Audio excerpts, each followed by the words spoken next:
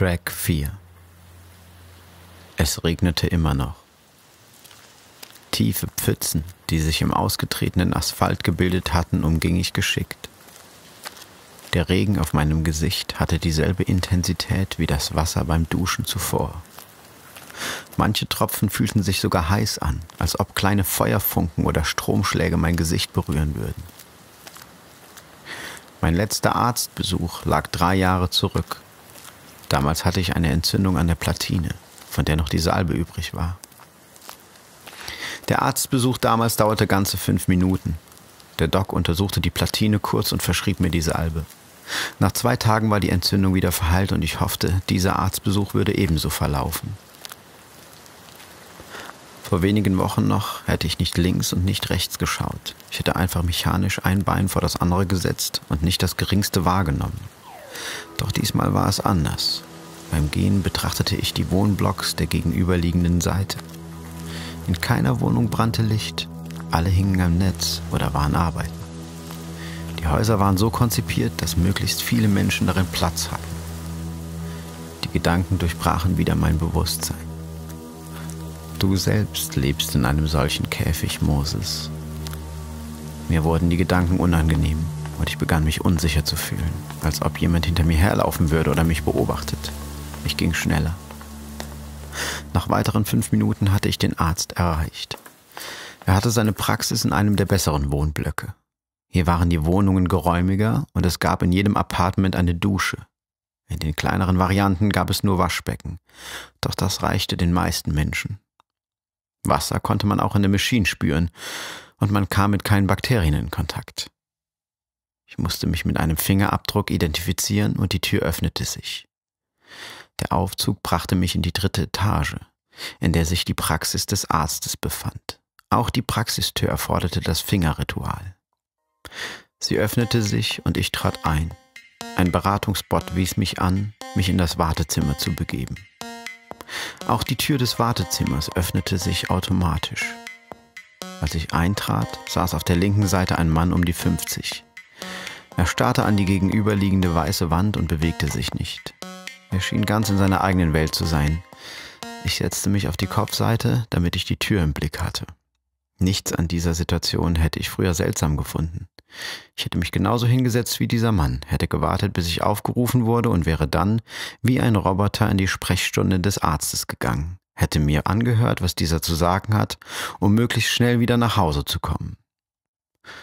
Ich war nervös und wäre am liebsten wieder sofort aus dem Wartezimmer geflohen. Alles in mir schrie nach Bewegung und es gelang mir nicht wirklich ruhig zu sitzen, veränderte oft meine Sitzposition und hoffte, der Mann würde es nicht bemerken. Er saß weiterhin wie tot auf seinem Stuhl, bis er aufgerufen wurde. Dann war ich allein im Zimmer, was sich um einiges besser anfühlte. Der Raum war ganz in Weiß gehalten und außer den grünen, unbequemen Stühlen gab es hier nichts. Auch wenn ich alleine war, versuchte ich ruhig zu bleiben, denn Überwachungskameras gab es überall. Wie konnte ich früher in solchen Situationen ruhig bleiben? Wie habe ich es geschafft, die Wirklichkeit so auszublenden, dass ich von meiner Umgebung nichts wahrnahm? Doch ich entschied, diesen Fragen nicht weiter Aufmerksamkeit zu schenken, denn ich hatte ein wenig Angst vor den Folgen. Ich würde das Denken wieder auf zu Hause verschieben, wenn ich mich für die Zentrale eingeloggt hatte und alles wieder in Ordnung war. Ich erschrak, als ich aufgerufen wurde und dachte noch einmal schnell darüber nach, was ich dem Arzt erzählen würde. Auch in dem Behandlungszimmer stand nichts anderes als ein Schreibtisch und zwei Stühle. Hinter dem Schreibtisch saß der Arzt und vor dem Schreibtisch sollte ich Platz nehmen. Der Arzt war Chinese, sehr klein und hatte kaum Haare auf dem Kopf. Setzen Sie sich, befahl er mir. Was für Sie tun, mehr? Meine Platine ist nicht ganz in Ordnung, sie juckt und brennt fürchterlich und ich kann, ich kann mich nicht mehr einloggen, sagte ich wahrheitsgetreu. Dann lass Sie mal sehen. Stellen Sie hin und nehmen Sie ein T-Shirt. Der Chinese kam auf meine Seite des Tisches und betrachtete die Platine. Was eine typische Reaktion des Gewebes, wenn die Platine längere Zeit nicht genutzt wird. Sollte ich hier irgendetwas wissen? Ich habe sie zwei Wochen nicht mehr benutzt, weil sie so schrecklich gejuckt hat, log ich diesmal und hatte das Gefühl, der Arzt würde alles über mich wissen. Na dann, ich werde Ihnen ein Salbe verschreiben und heute Abend müssen Sie sich wieder einloggen können. Was Sie auch schleunigst tun sollten. Die Maschine ist gut für Sie. Danke. Er nahm eine Salbe aus dem Schrank und drückte sie mir in die Hand. Und loggen Sie sich wieder ein, hören Sie? Ja, werde ich sofort heute Abend tun. Auf Wiedersehen. Das hoffe ich nicht, sagte ich und verließ den Raum. Auf der Straße bemerkte ich erst, wie schnell mein Herz wieder schlug und wie mir der kalte Schweiß auf der Stirn stand. Ich war mir nicht sicher, ob der Arzt diese Symptome überhaupt bemerkt hatte, denn er schien mir genauso abwesend gewesen zu sein wie der Mann im Wartezimmer. Ähnlich abwesend, wie ich es vor einiger Zeit noch war. Doch jetzt war alles anders. Ich nahm meine Umgebung wahr und fühlte mich seltsam wach. Auch wenn es sich ungewohnt anfühlte, sein Herz schlagen zu hören und aus allen Poren zu schwitzen, ich fand es spannender als alles andere zuvor. Ich ließ mir auf dem Heimweg etwas mehr Zeit und sog alles, was ich sehen konnte, in mich ein. Die Wohnblöcke in ihren verschiedenen Farben, die Straße mit dem brüchigen Asphalt, der Nieselregen auf meiner Haut, der Gestank, der aus den Mülltonnen drang, der Wind, der mit meinen Haaren spielte. Das alles war faszinierend. Das kannst du immer fühlen, Moses, wenn du nur willst.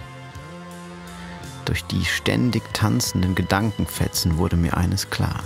Die Maschine war daran schuld, dass wir uns von der Realität, von der wirklichen Welt abgewandt hatten und sie verkommen ließen. Nicht mehr wussten, wie es ist, wirkliche Schmerzen und wirkliche Gefühle zu haben. Wie tot liefen wir alle durch die Straßen und waren süchtig nach den Erfahrungen aus den Programmen nach den Erfahrungen aus zweiter Hand.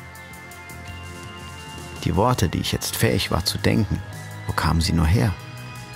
Ich dachte über Gefühle nach, gebrauchte Worte in meinem Kopf, deren Sinn ich gar nicht verstand. Süchtig nach etwas zu sein, Schmerzen zu spüren.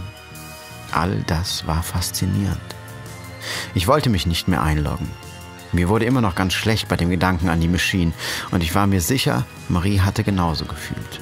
Ich konnte sie nur nicht verstehen wie schrecklich allein sie sich gefühlt haben muss, als sie neben mir, einem Toten, in der Wohnung saß und über all dies nachdachte. Als ich meine Wohnung betrat, überkam ich wieder die Leere. Meine Gedanken verstummten und ich wusste, was ich zu tun hatte. Widerwillig trug ich die Salbe auf und verband mich mit der Maschine. Er schmerzte kurz und dann startete ich das Programm.